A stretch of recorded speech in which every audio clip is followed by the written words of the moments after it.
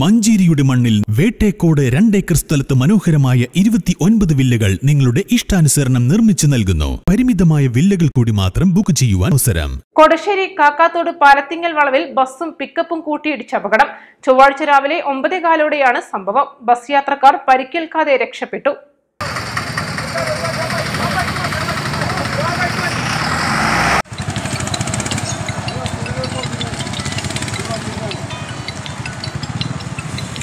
പെരിന്തൽമണ്ണ ഭാഗത്തേക്ക് പോവുകയായിരുന്ന സ്വകാര്യ ബസ്സും വണ്ടൂർ ഭാഗത്തേക്ക് പോവുകയായിരുന്ന ബൊലേറോ പിക്കപ്പും തമ്മിലാണ് കൂട്ടിയിടിച്ചത്.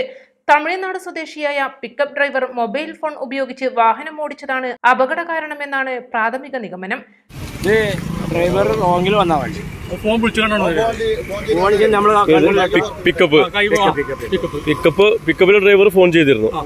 മൊബൈൽ ഫോൺ യൂസ് ചെയ്തിട്ടാണ് വന്നത്. റോങ്ങിൽ കയറിയതാണ്. ബസ് പരമാവധി സൈഡാക്കാൻ നോക്കിയാണ്. ആൾക്ക് എന്താ അത് ഡ്രൈവർക്ക് കയ്യിന് കയ്യിന് മഞ്ചേരിക്ക് കൊണ്ടുപോകാം കയ്യിന് പരിക്കേറ്റ പിക്കപ്പ് ഡ്രൈവറെ പാണ്ടിക്കാട് സ്വകാര്യ ആശുപത്രിയിൽ പ്രവേശിപ്പിച്ചു. News bureau Pandikkad.